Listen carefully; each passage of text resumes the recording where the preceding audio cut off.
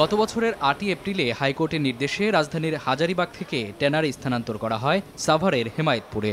একশো পঞ্চান্নটি কারখানার মধ্যে একশো একুশটি স্থানান্তর করা হলেও সেখানকার পরিবেশ ও সিইটিপি বাস্তবায়নে নেই তেমন কোনো উন্নতি।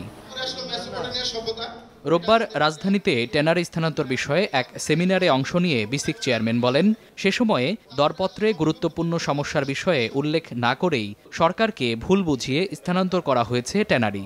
এজন্য দোষীদের শাস্তিরও দাবি জানান তিনি। দুই একজন ব্যক্তি এবং প্রতিষ্ঠান কীভাবে তারা বলল যে সিটিপি রেডি কমপ্লিটলি গভর্নমেন্টকে মিসগাইড করেছে। একটা প্রতিষ্ঠান এবং একটা ব্যক্তি এইভাবে আমাদেরকে বিপদে ফেলেছে। খারাপ লাগে যে যদি আমরা জেনে করি এদের যেন একটা বিচার হয় হওয়া উচিত।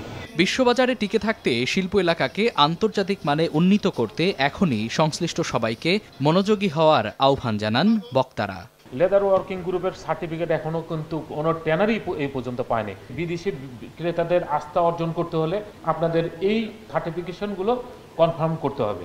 যেহেতু আমাদের এটা প্রথম প্রকল্প ছিল আমরা অনুভূতি ছিলাম আমাদের অভিজ্ঞতার কিছু ঘাটতি ছিল সেই ঘাটতিগুলি আমরাকে গুটিয়ে যে কম্পোনেন্টগুলি ছিল না এখানে আমরা ইনক্লুড করার চেষ্টা করা হচ্ছে।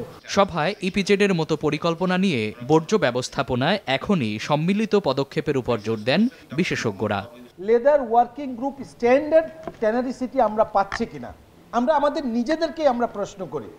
তাহলে এই যে এত টাকা খরচ হচ্ছে এক হাজার আটাত্তর কোটি টাকার প্রজেক্ট এই টাকার এফিসিয়েন্ট ইউটিলাইজেশন হচ্ছে কিনা? এ সময় জানানো হয় চামড়া শিল্পে টেকসই উন্নয়ন নিশ্চিত করা গেলে দুই হাজার একুশ সাল নাগাদ এই খাত থেকে পাঁচ বিলিয়ন ডলার আয় করা সম্ভব। মামুন আবদুল্লাহ সময় সংবাদ ঢাকা। মিনিস্ট্রির সাথে